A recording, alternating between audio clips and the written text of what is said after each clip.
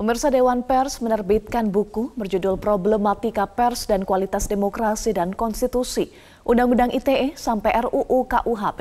Buku ini merupakan karya akademisi sekaligus mantan Ketua Mahkamah Agung Bagir Manan. Buku Problematika Pers dan Kualitas Demokrasi berisi substansi relevan dengan dinamika pers dan politik saat ini.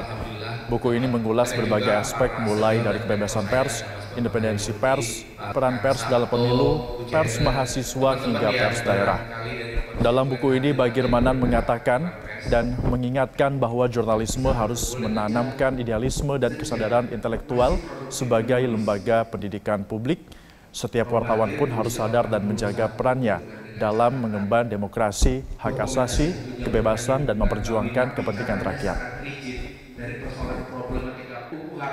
Dan saya kaget juga karena di sini juga bicara juga beliau sebagai akademisi, beliau sebagai luar biasa, hikmahnya buat kita semua bisa jadi ibu gitu kan. Di webnya Dewan Pers kalau nggak sanggup beli ya Mas Bambang ya? Jadi sudah daripada beli buku gitu kan. Hadapan saya pertama pers harus tetap baik menjalankan peran historisnya.